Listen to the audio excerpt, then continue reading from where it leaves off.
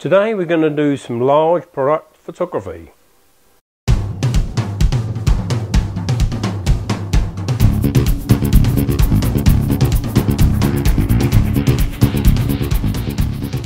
Hi, I'm Mick Sadler and today we're going to do some large product photography. And we're going to use a fairly simple setup. We're going to use one of these 125 watt bulbs. Now this is a compact fluorescent photographic bulb and we multiply this by four times to give us the uh, the output. Um, some companies use five times and six times multiplication but more realistic is four times and you should find the original wattage multiply it by four and it'll give you a rough idea of the output of the bulb. We're also going to be using our compact light stand like this which folds up very small and goes up to two meters. So let's get set up now and we're going to use uh, the bulb. We're going to use two bulbs two umbrellas and um, we're going to sit the camera on a tripod and we're going to take a picture of this table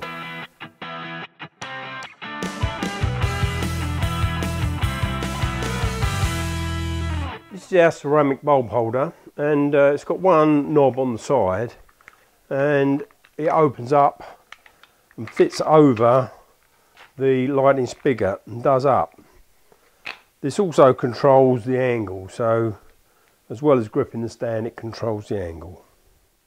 We're going to use these shoot through umbrellas and they just slip into the uh, bulb holder just like that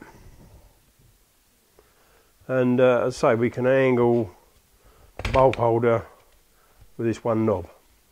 Now we're going to put on the bulb right well we're screwing in the bulb uh, we need to be fairly careful with this.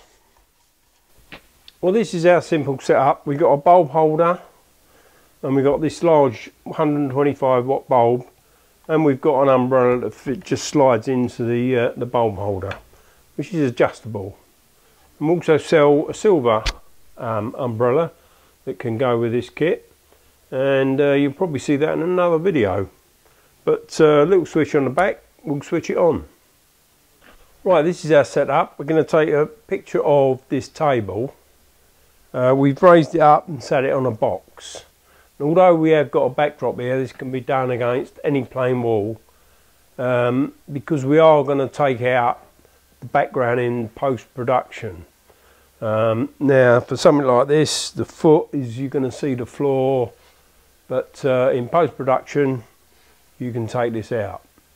So we're using these shoot-through umbrellas. This one is um, about from the centre of the table just over a metre and this one's a metre and a half.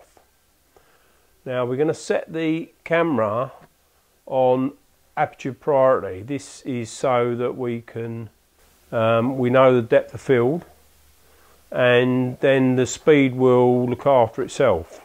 Although with the camera looking at a wide expanse we, we're going to do plus one exposure compensation.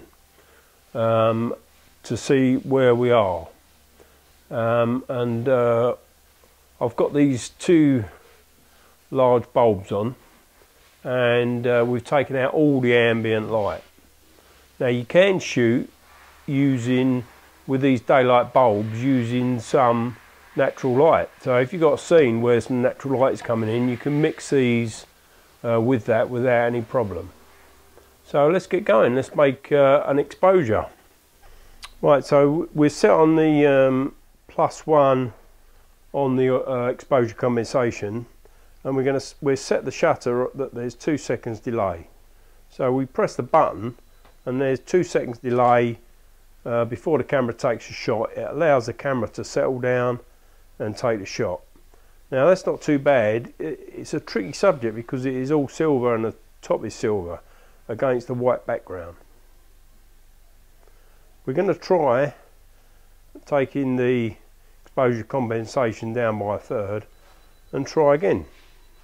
to see what that looks like.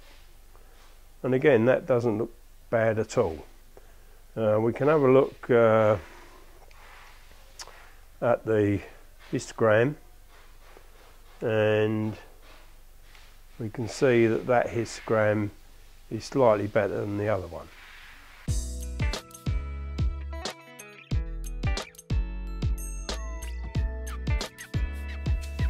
Please subscribe and also make a comment and we'll try and answer you. Um, thanks for watching. See you next time.